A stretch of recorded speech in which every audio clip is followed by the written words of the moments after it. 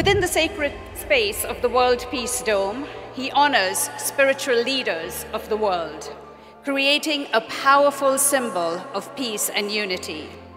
I stand before you believing wholeheartedly that India, with its deep cultural wisdom and spiritual values, holds the power to lead the change we need in this world. This is where we can make the greatest impact, blending our heritage with the knowledge and experience we gather from around the world. As we stand here at the intersection of science, spirituality, philosophy, and religion, I truly believe that you who are gathered here today are the key to bridging divides, fostering peace, and creating a more compassionate world. Together, let us empower the future generations.